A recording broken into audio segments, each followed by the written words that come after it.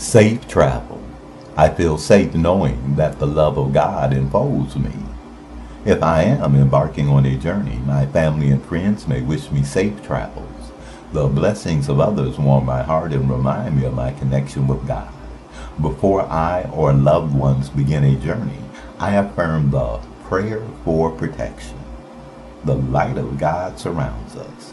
The love of God enfolds us. The power of God protects us. The presence of God watches over us. Wherever we are, God is. With these prayerful words, any anxious thoughts turn into anticipation for upcoming travel as I begin to plan my next venture. Whether I am taking a short trip or a longer journey, I relax into peace knowing that I am protected by an inner presence. Protect me, O God, for in you I take refuge. Psalm 16 1.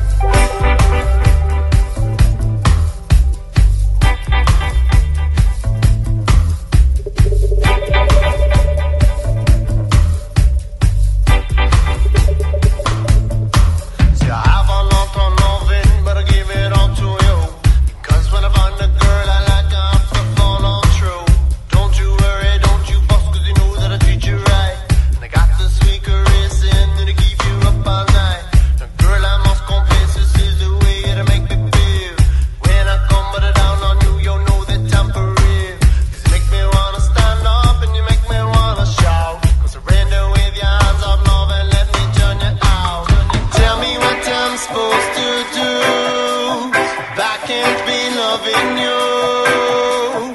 Tell me where I'm supposed to go. Figure it out, let me know.